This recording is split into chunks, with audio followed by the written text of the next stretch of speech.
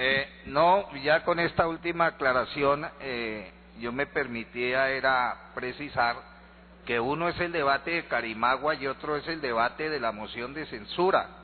No podemos confundir las dos cosas. Pero señora presidenta, mira, mire, eh, aquí no hemos hecho sino colaborar, contribuir. Todo el oficialista que ha querido pronunciar un discurso en esta tarde lo ha hecho. Senador eh, Rubén Darío, sin que esté en el orden del día, aquí vino el doctor Mansur y se echó un discurso apresuradísimo. yo ni me acuerdo qué fue lo que dijo, pero, pero la doctora Marta Lucía pronunció su discurso pidiéndonos juicio y dedicación y que nada de pupitrazos. El doctor Reyes pronunció un discurso contra el gobierno que menos entendí yo porque cómo ha habido de discursos antigobiernistas hoy de parte de los gobiernistas. Entonces eso protestan que están privatizando, que están sin salud, que los niños se mueren de hambre.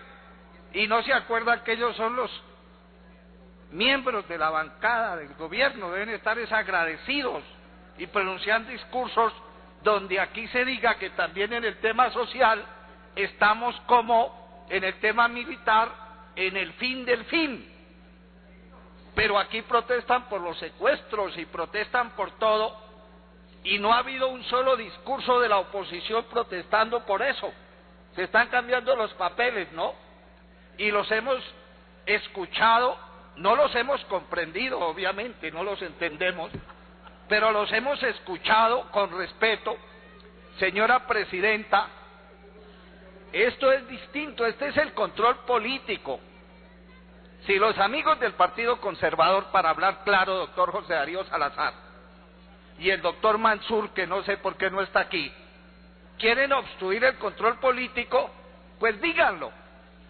Digan que no quieren que hagamos el control político, pero no traten de usar ventajas que no les da el reglamento.